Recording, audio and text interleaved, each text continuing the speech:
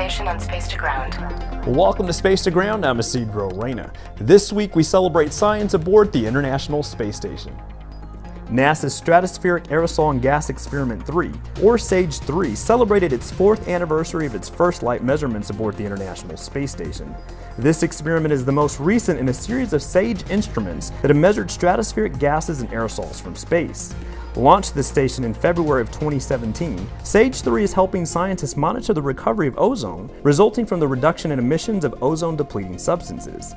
SAGE 3 has also measured the intrusion of aerosols in the stratosphere from intense wildfires in Australia and California and from volcanic eruptions. The SAGE family of instruments started in 1979 and is one of NASA's longest running Earth observing programs. Data from SAGE 2 helped confirm human driven changes to the ozone layer, which contributed to the 1987 Montreal Protocol that banned some of the most destructive industrially produced ozone depleting chemicals. NASA's SpaceX Crew 1 astronauts aboard the space station will mark another first for commercial spaceflight on April the 5th, when the four astronauts will relocate the Crew Dragon spacecraft.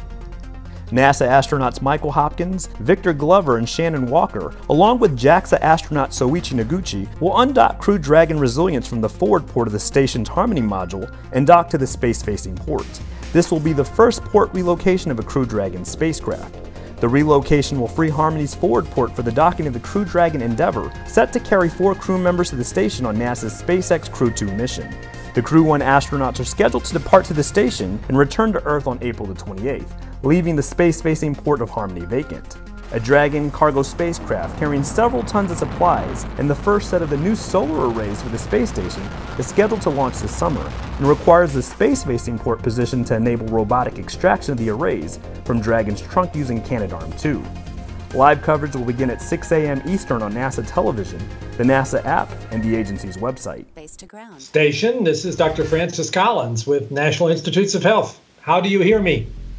During a recent in-flight conversation, NASA astronaut and microbiologist Dr. Kate Rubins had an opportunity to talk to one of her science heroes, Dr. Francis Collins, director of the National Institutes of Health. And you're doing great work up there, and we're all fascinated uh, by the way in which uh, science is being conducted right there on the International Space Station. And I hope people are watching this, uh, dreaming a little bit themselves, uh, could imagine doing something like this. It's a path forward. This is the best time, tell me if you agree, to be a scientist in the history of the planet because so many things are possible not only is this an exciting general time uh, in the space station history, I'm having fun actually today, right now. Uh, there's just there's a lot going on up here, and I really do think that science is an incredible career, whether you're doing it in space or on the ground. If people are interested in this, the pleasure and and the gratification of being a scientist every day, it's it's truly amazing to get up and discover new things. That's Space to Ground this week. Thanks for watching. We'll see you next week.